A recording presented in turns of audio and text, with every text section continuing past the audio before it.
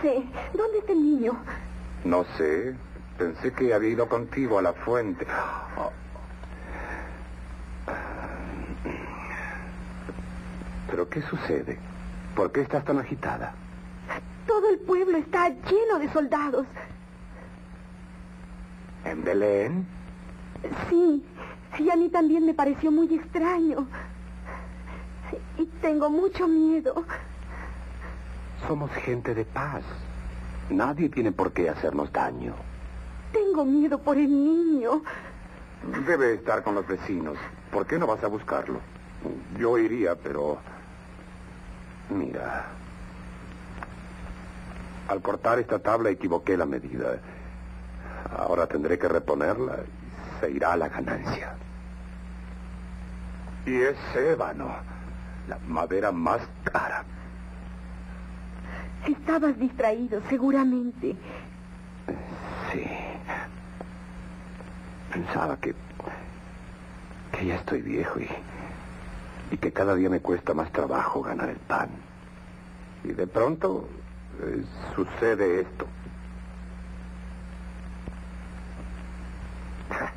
Mira, ahí lo tienes.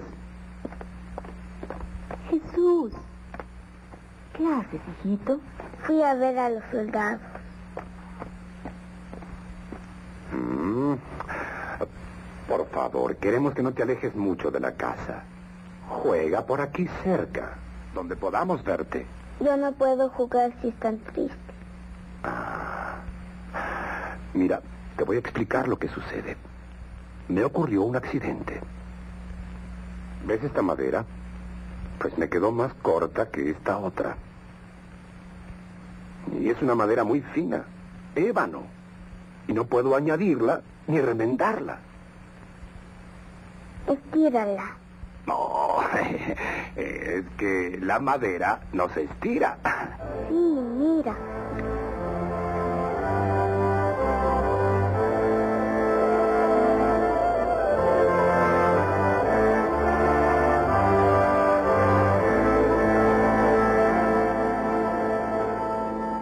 Ve a jugar, hijo.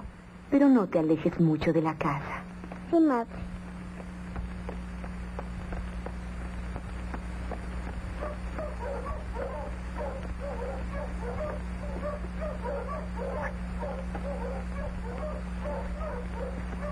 Pensar que tenemos que formarlo en medio de la pobreza. ¿Y por qué no, José? El Señor permitió que naciera en un humilde pesebre.